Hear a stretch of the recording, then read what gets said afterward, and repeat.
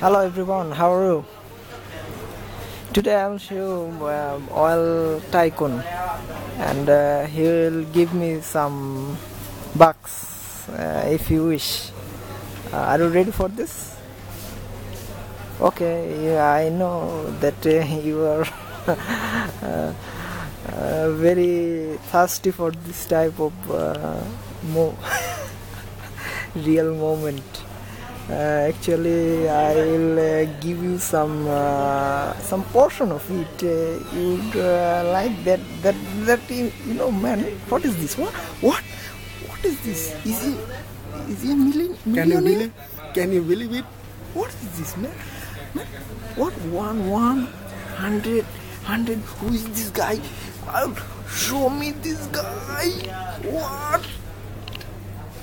Yeah, yeah, man. This is this is this is the cash. This is the dollars. Must give me, you must give me one of this type. This is hundred dollars. This is twenty dollar. This is one dollar, What? and this is five dollars. What is this? This is ten dollars. I don't know. Today is my uh, This is twenty dollars. Best and uh, best. Uh, Five uh, dollars. I can tell it uh, because I am thrilling, man.